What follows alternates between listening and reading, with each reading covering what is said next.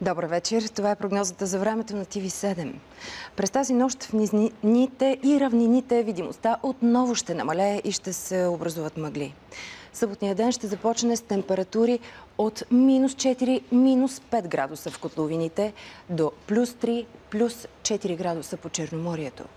През деня в равнинната част от страната ще има мъгли и ниски облаци. Около и следобят видимостта ще се подобри, а облаците главно над югозападна и южна България ще намалят до слънчево време. Максималните температури утре ще са от 3 до 8 градуса. В по-слънчевите места ще достигат 10-12 градуса.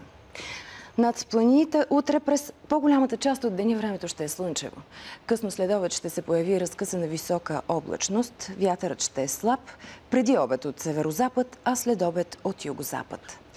В неделя у нас ще има разкъсана средна и висока облачност, по-значителна над западна България.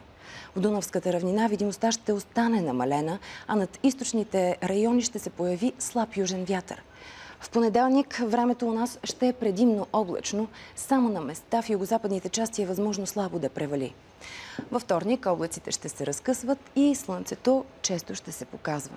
В сряда на много места в низините и в котловините ще има мъгла, която в Дунавската равнина и в югоисточните райони ще се задържи през по-голямата част от деня.